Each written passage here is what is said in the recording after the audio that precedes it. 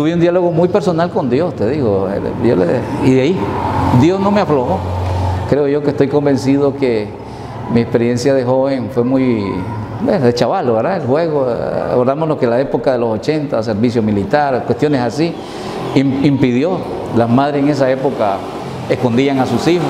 Pasé una época muy así difícil, no sé si te contás esos tiempos, ¿verdad? Que la mamá eh, ocultaban a sus hijos por miedo al servicio militar, pues yo creo que mi mamá, yo chavalo, no lo saca. Entonces eso hizo que, que pasara una temporada en mi casa y ya, en el 90 pues ya emigré a, no con la intención de ser sacerdote, ¿verdad?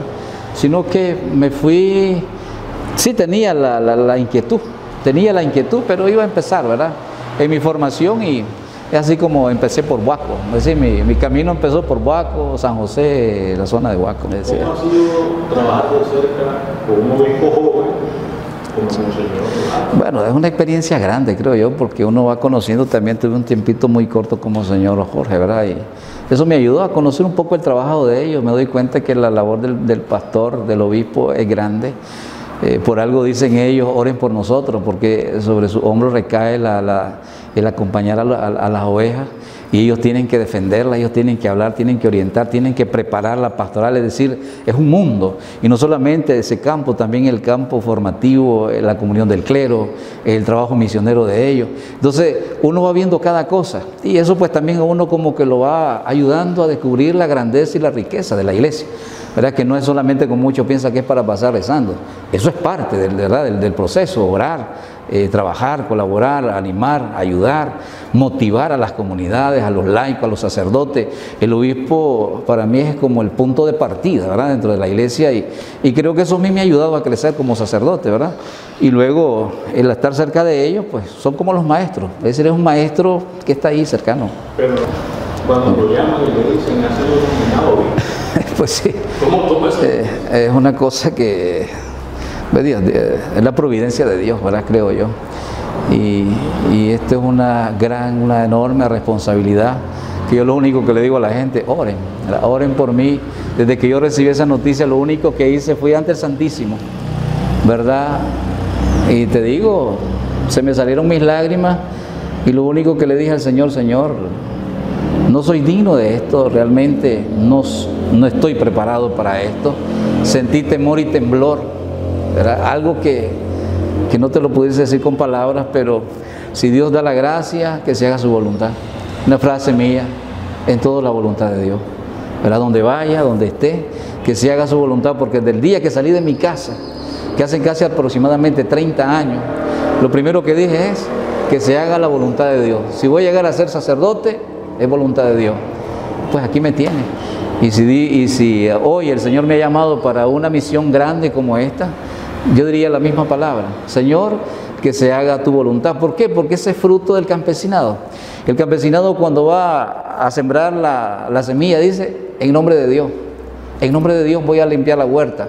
En nombre de Dios voy a hacer este mandado. Es decir, es una frase que la tengo bien encarnada porque es parte de mi identidad. Entonces yo en todo tu voluntad. Que se haga la voluntad de Dios. Jamás, jamás. Sería mentiroso si te dijera esto porque Nicaragua tienes centenares de sacerdotes y en el menos digo yo que pude, ¿verdad? Claro, ser sacerdote ya formo parte del grupo, pero en mi mente no cruzaba nada de eso, ¿verdad? Eh, he madurado, porque aquí viene alrededor de 36 años por ahí creo yo, 36, por ahí, y, ahora tengo 51, es decir que 12 años en una parroquia marca, y quieras o no, pues de una u otra manera estamos cercanos, hemos dialogado, las prédicas me las han escuchado, las misas, ellos me han visto crecer y envejecer, porque algunas estaba triste, estaba muy triste. Aquí Monseñor vino con el pelo negro y se va pelo blanco se ha envejecido con nosotros. Pues bendito Dios, porque las canas no salen por casualidad. Y si salieron, pues bendito Dios que salieron de aquí de San Ramón, ¿verdad? Me llevo ese regalo y salí también, ¿verdad? Con el nombramiento que Dios me ha regalado. Y bueno, ahora va a ser miembro de la Conferencia Episcopal de Nicaragua. Sí, algo que sí, ¿verdad? Vale la pena. Pues bendito Dios, hay una comunión bastante bonita, ¿verdad? Toditos me han llamado. Me he sentido acogido por la Conferencia Episcopal. Mi obispo, pues ya no se diga, ¿verdad? Eh, me he sentido realmente identificado eh, yo diría a la gente, sigamos orando por, la, eh, por esa comunión de, de- de nuestros obispos, porque es la fortaleza espiritual, moral y, es decir, todo está ahí. Y, yo creo que me he sentido muy acogido por ellos. Eh, están así pues que ya estoy recibiendo mensajes de ellos, llamadas y ha sido muy bonita la parte de los pastores de nuestra iglesia, como también la parte de los fieles, verdad que ha sido muy hermoso. Bueno, que estoy orando por ellos, que oren ellos por mí, ya los llevo en mi corazón, que sepan que aquí tienen un hermano, un amigo, un pastor.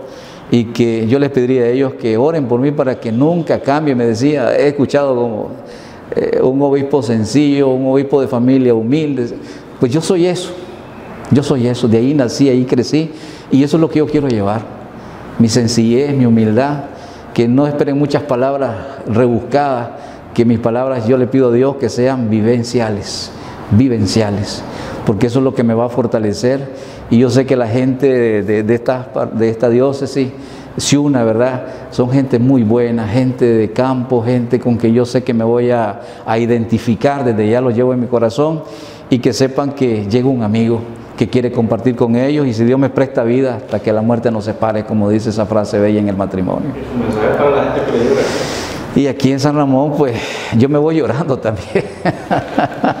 me voy triste, ¿verdad? Pero eh, así es esto, ¿verdad? Somos del Señor, somos de la iglesia, somos servidores y yo creo que siempre he estado abierto a eso. He pasado muchas experiencias en mi vida y creo que esto, pues, aunque no lo tenía preparado, pero ha sido parte de mi vida. Pues vuelvo a la frase, que siempre se haga la voluntad de Dios. Y si en algún momento decidí salir de mi hogar, donde crecí, nací, me fui con esa intención eh, y Dios hizo realidad mis pensaros, mis sueños y hoy estoy aquí. Y si me toca hacer alguna misión importante, pues que sea para la gloria de Dios, pues lo voy a- a asumir con mucha humildad y con mucho amor y mucha fe en el Señor.